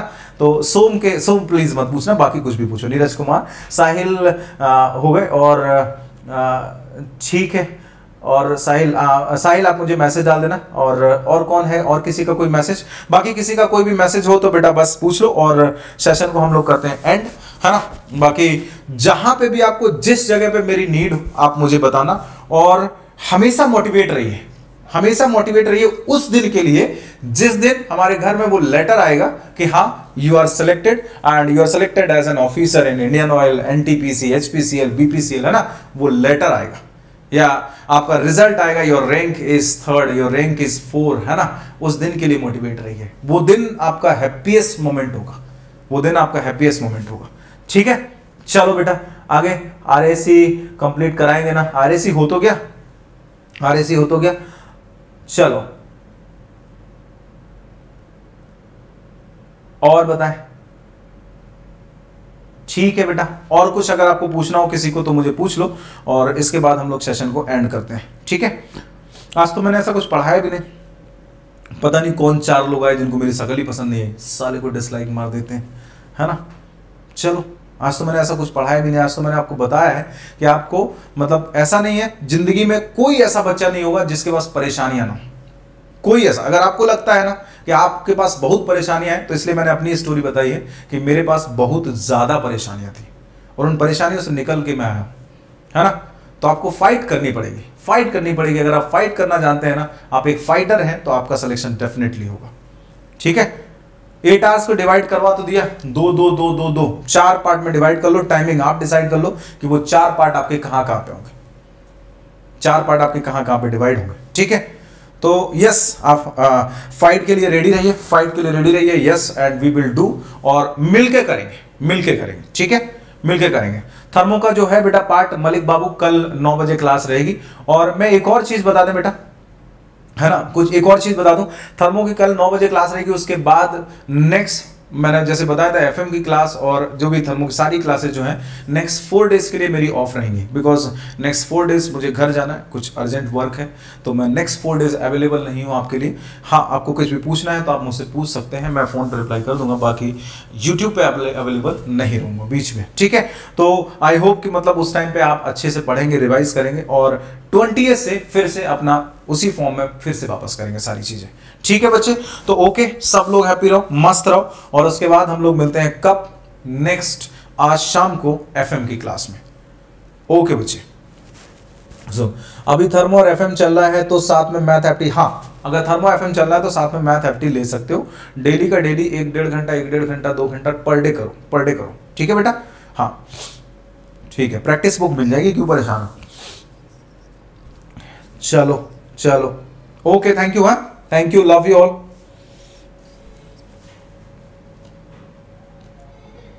आप मुझे अन अकेडमी के ऐप पे मैसेज कर दीजिए। हर्ष जैन, आप मुझे अन अकेडमी के ऐप पे मैसेज कर दीजिए। मैं वहाँ रिप्लाई कर दूँगा आपको।